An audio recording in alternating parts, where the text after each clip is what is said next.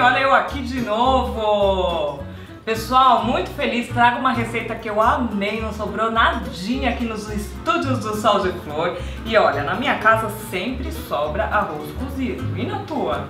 Acredito que sim, né? Essa receita é maravilhosa, fica divina, pode salvar o jantar aí na sua casa. Então vem comigo, vamos ver como é que faz, é muito fácil. Uma colher de sopa de manteiga, um fiozinho de azeite, vou deixar aquecer. Agora, meia cebola picadinha com um dente de alho.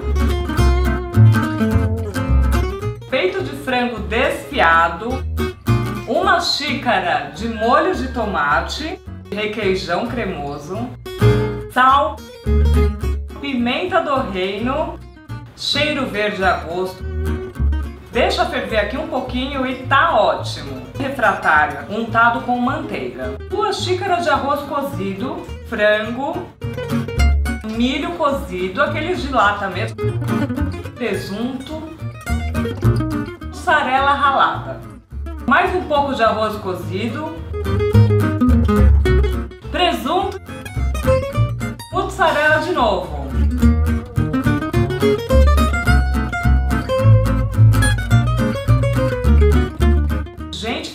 Muito recheado, é delicioso.